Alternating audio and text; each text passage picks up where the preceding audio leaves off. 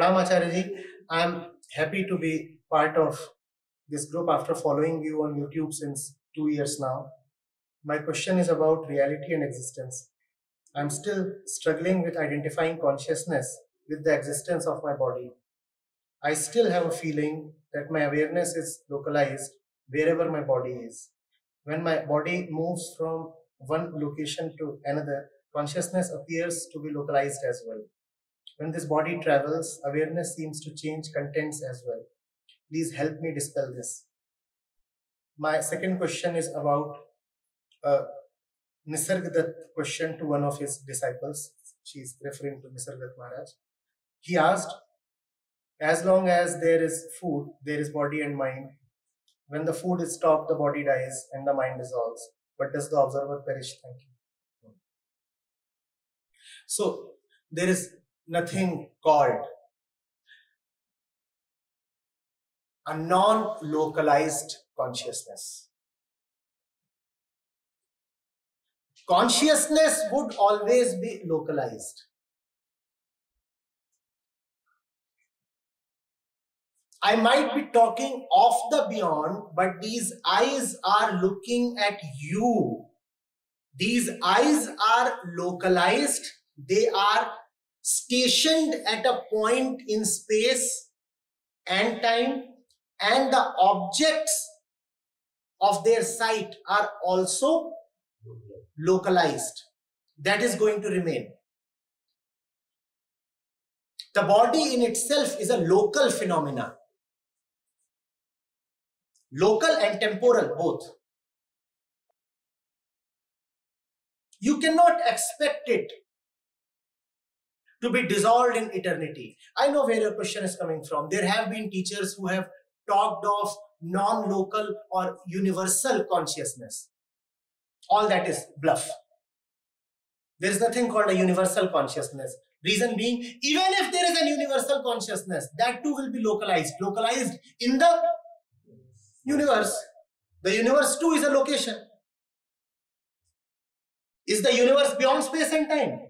So even if you say I have a universal consciousness, you are still saying that you have a local consciousness. It is not possible. Just as the eyes cannot see anything except that which is in their visual domain.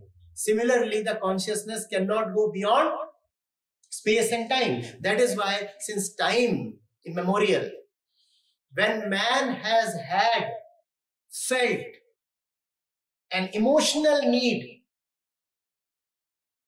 to get physically close to godliness, this is what he has come up with.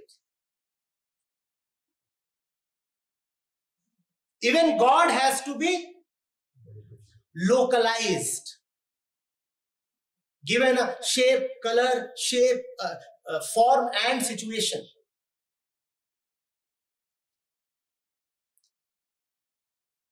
This form is not God. This is man's effort to localize God. Why? Because man is bound to be localized. Because I am little, can I see you as the little, please? Because I am embodied, can I see you as a body, please? And then with great love and devotion, man comes up with this. Knowing fully well that God is Amurt, he still comes up with a Murti.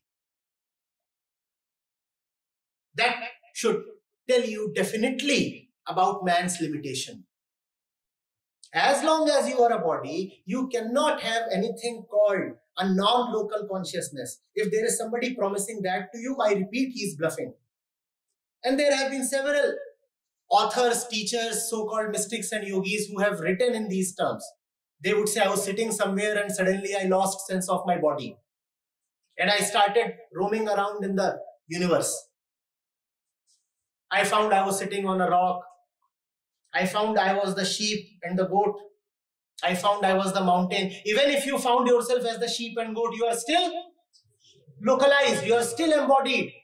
Even if you say that you felt yourself to be the mountain, you are still localized as a body. But all that is very tempting, very attractive, alluring. You feel, wow, that's like flying without a ticket.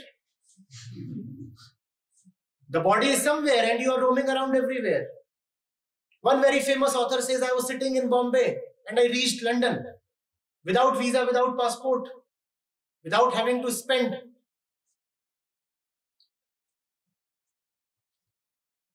That is not going to happen.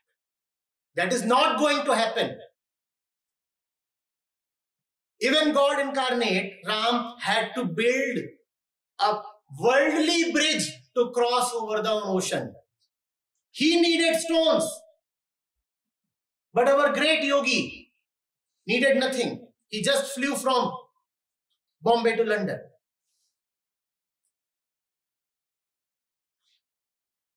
Ram, the poor fellow, he had to collect monkeys.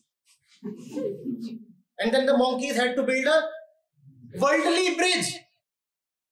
And then Ram could cross over. Ram didn't say that I just imagine that I am in front of Ravan. Poor Sita was grieving all the time to get a glimpse of Ram. And Ram couldn't reach there. Even when Hanuman reached, his tail was put to fire. He couldn't say that now the task is done. So I am translocating myself back to Ram. That doesn't happen. The body is the body. To go from here till there, the limitation of the body is that it will have to pass through every point in between. That's the central rule of the body. Please understand this. If you have to go from here till there, the body must pass through every point in between. That is a law of Prakriti. Even Paramatma does not violate Prakriti. Prakriti has its own laws and it has been given total autonomy. You do what you must do. Your laws are never going to be violated.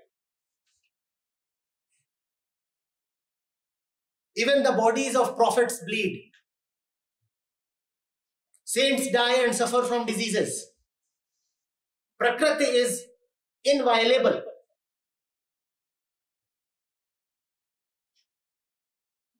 Consciousness will remain localized. Now we come to that which is not local, that is called awareness. Awareness bothers for no shape, no forms. And awareness is not a substitute of consciousness. It is not an either or situation. Awareness is the foundation of consciousness. You can either decide to give more importance to the foundation of this building or you can decide to give more importance to the content of this room. The contents of this room are the contents of consciousness. Consciousness always needs contents. Even the walls of this room are the contents of this room. There is no consciousness without contents. You always think of something you always require an object in order to become a subject. You cannot be somebody without an associated universe. Wherever you are, there needs to be an universe for you to exist. The ego is so severely dependent, it cannot exist on its own. It always needs something else, contents. And that's why the egoistic experience has been called as dualistic. Two are needed. One cannot survive. Awareness, on the other hand, is non dual. Awareness is just a sleep, a settlement, samadhi. The mind is thinking of 10 things. Let it think. There is somebody who is asleep. Jagrat Sushupti, Jagrat Samadhi. Even as consciousness is localized and busy with all the local stuff, there is somebody who gives two hoots to everything local. who is just not bothered. That is awareness. Awareness has no relationship with knowledge. We use that word very loosely in language, don't we? When you know about something, then you say, I am aware of it. It's a bad usage. Something happened on the road there. If the news travels to you, you say, I am aware of the happening. That is not awareness. That is merely consciousness playing out. Something has been added to your consciousness. That piece of news has been added to your consciousness. That is not awareness. Awareness is when no piece of news bugs you, bothers you. News comes, news goes. Material news has arrived. The material body will act according to the news. But the one beyond material keeps sleeping. He doesn't even bother to watch. He sleeps. And it's an iridescent sleep. By sleeping, he illuminates. He doesn't even watch. Even watchfulness is a bad word. Not avalokan, merely alokan. He just illuminates. And even illumination is not an act for him. He sleeps and illuminates. It's like the moon sleeping up in the sky and still illuminating. Ah, the moon doesn't sleep, but get the idea.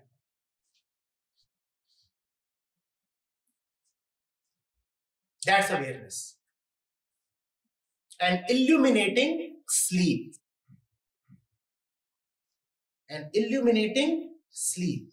Because I am sleeping, therefore I am radiant, brilliant. The moment I wake up, it's all darkness. And that's why most of us look beautiful when we are sleeping. And I'm talking of material sleep, the sleep of the body. Have you seen when people are the most beautiful? Even the most stubborn criminals look a little innocent when they are sleeping.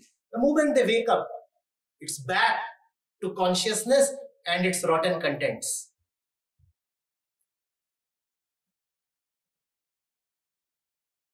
If you really hate someone, go and look at him when he is asleep.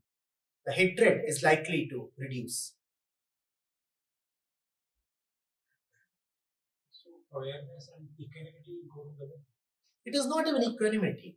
To be equanimous towards this and that, you must first of all consider this and that. Awareness does not consider anything. It's totally beparwah.